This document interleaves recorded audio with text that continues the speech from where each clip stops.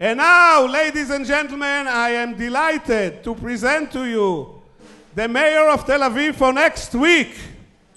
And after next week, we have an election, and God knows what will happen then. Ladies and gentlemen, Ron Huldai.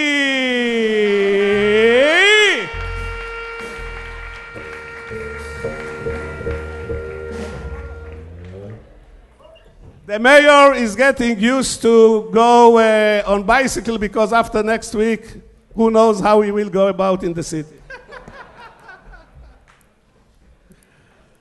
Oh, good morning.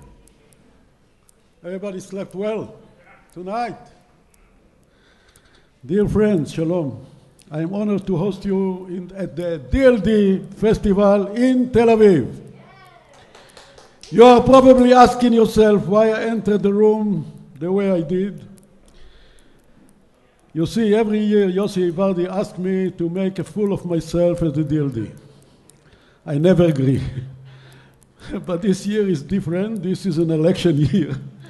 Actually, the election are seven days away, and since Yossi is resident of Tel Aviv, I had to accept because I need him to vote. You have chosen an excellent location for the conference. I would like to share with you a few thoughts about this place.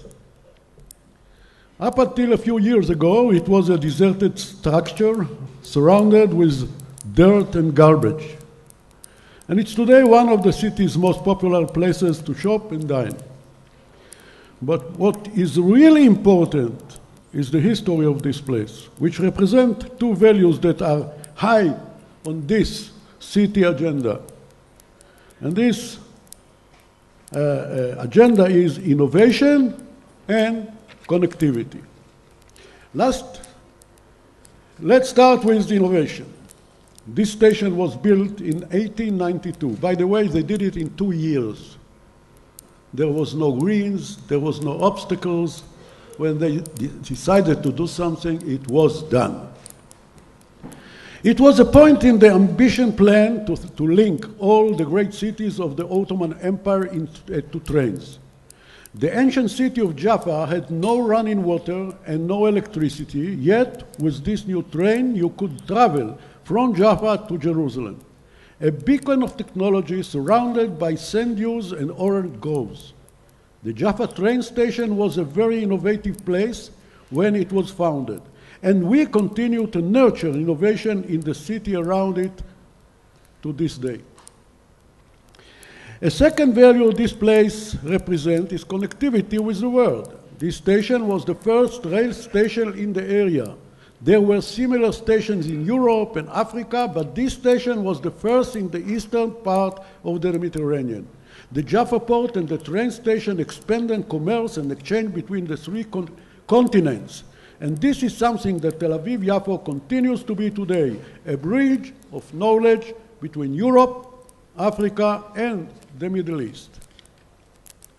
Speaking of the East, in our short history as a nation, here in Israel, most of our businesses and culture relationship were in the West. And if you check who is here, you will find out that most of them are from the West. We created a wonderful ties in America and Europe, and these are strategic assets of this country. However, our relations with the giants in the Far East like China, Korea, India, and Japan are only now beginning to flourish. And we here in Tel Aviv want to develop these new friendships. It's important for our economy and for our future. Together with our partners in the government and the businesses and academic sectors, we wish to put more emphasis on the Far East. Our universities are establishing academic relationship with institutions in Asia. Our companies are partnering with Asian counterparts to create technological parks and businesses. Soon I hope to see more Asian students in our institutions. I hope to see more Asian entrepreneurs attending our conferences. This is a challenge of you, Yossi Vardi, in the next DLD here in Tel Aviv. We are working with our people and creating new technologies. So This is our vision more innovation, more connectivity with the East, and continuing to be a great bridge to everyone.